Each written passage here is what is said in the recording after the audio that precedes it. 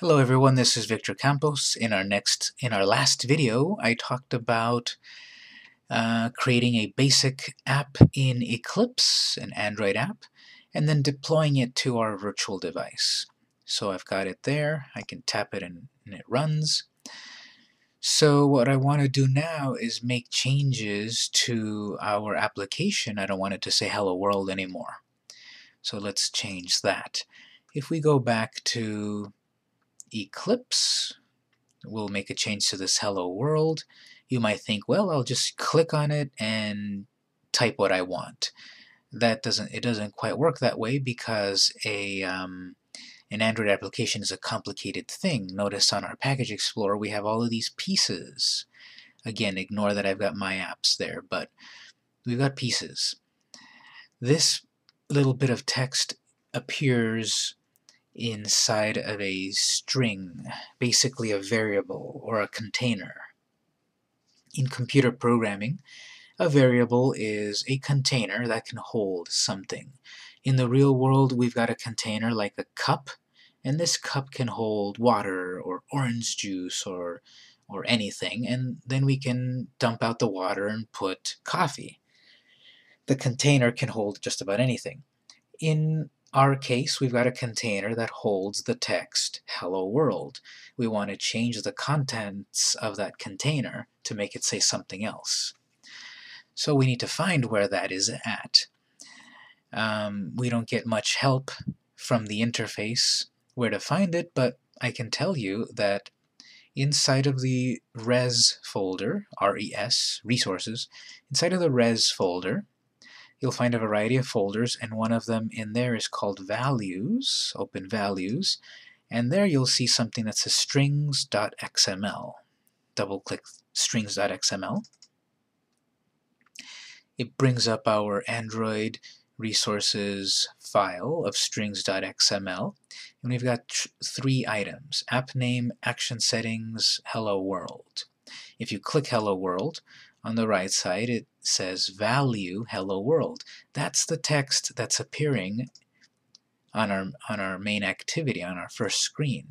So we can change the value. But be very careful here. Do not change what's under the name box. This always happens to beginners. You, you change both or name instead of value and then the whole program breaks. So you don't want to change the value under name because that's basically like changing the container. Next, I don't have a coffee mug anymore. Now I have a vase. So I don't want to change that. I want to change what's inside the coffee mug. That's what's value. That's what value is. That's what we want to change. Well, I'm going to put my name here. So what's inside the variable has been changed inside the container. And then I can also see at the bottom we've got resources, which is our graphical layout, and strings, which is our code layout. And we can see here under the under the strings code, we've got the string name hello world, which we did not change, but then we've got the value between those angle brackets. That's what we changed. Notice we get a little red highlight. This changed. So if you don't want to look at some scary code, you can stay under the resources. I've changed the value, not the name. And now Eclipse is letting me know that this file has changed. Notice we've got a little asterisk on the top there. So go up to File, Save. Or you can click the little Save Disk.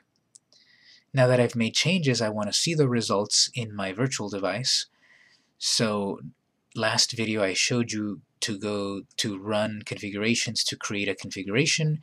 We've already got a configuration, so this time instead, right below run, we've got a green uh, icon with a, white arrow, and next to it is a little black arrow. Click the black arrow, and this will list your run configuration. I've got more than one because this is my own Eclipse uh, installation where I make my own apps but you should see one, My Amazing App Run Config. Click on it. It'll pop up like we saw last time, Android Device Chooser. we should have our currently running Android device that we can select, and then we'll click OK. Before that, if you are going to be using the same virtual device over and over, maybe you want to turn on Use Same Device for future launches. I'll turn it on next time. Click OK. On the bottom right, you will see activity happening, and then your virtual device might flash. And if you go back to the virtual device, now you've got your name.